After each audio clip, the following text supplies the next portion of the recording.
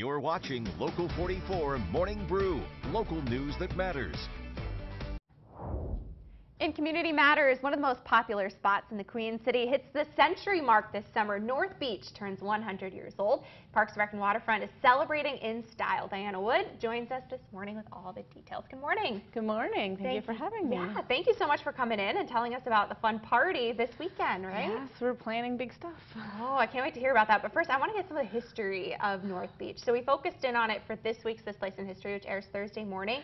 But exciting. there's a lot in 100 years, right? There is, and like I'm not a historian, so it took me, uh, I, and I haven't had a lot of time to do research, but luckily we've we've tracked down some some good photos, and other people have done research, like from from UVM grad students and um, the Champlain College and stuff like that. So there's one good uh, paper that we found that goes on about how the Van Patten, the, the same Van Patten that started um, Ethan Allen Park, mm -hmm. he was the one that kind of started the idea of it, and he kind of put it in front of everybody in like 1902.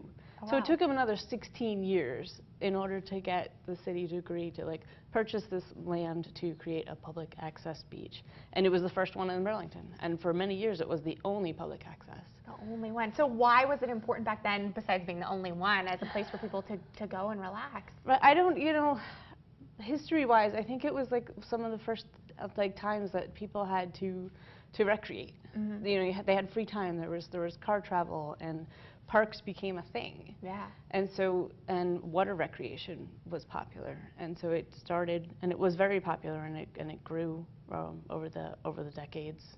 So, are there certain milestones, maybe through the last hundred years, that really stand out to you about the history of North Beach?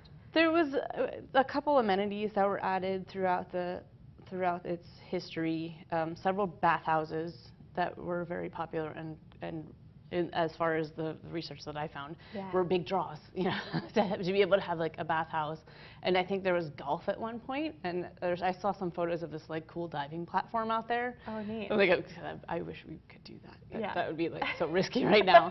Um, so safety standards are definitely yeah, different. They sure were. Um, but I think one of the most interesting things was that like in the, it wasn't until the 60s that they started charging for parking. Hmm and that that created funds to to make a lot of improvements that we see now. And for a lot of times, it, like for like several decades, things weren't upgraded. But once they started charging parking, it can it it's a good funding source for improvements and providing better access to the public, which is what we're all about. Yeah, and I'm glad you brought that up because this weekend admission is free. It is. Talk about public access. yes. Yeah. So how are you all celebrating 100 years? Yeah. Well, so for the weekend of August 11th and 12th, it's free parking, and then there's going to be kids activities. We have um, face painting and I think some inflatable toys, uh, like an obstacle course. Um, there's going to be free lunch for kids on both weekend on both days with as a partnership with uh, the Burlington School Food Project.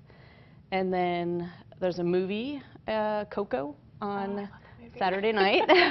so bring your bring your beach towels and your camp chairs and, and hang out with us. That's um, we're doing that with PCA because they provide that big blow up mm -hmm. screen. Um, and it, there's going to be a lot of fun. A sand sculpture that's going to be really awesome to check out. Um, it'll be great times. Lots of great stuff. So we just have a few seconds left, but quickly, why do you think North Beach is still so popular today after 100 years?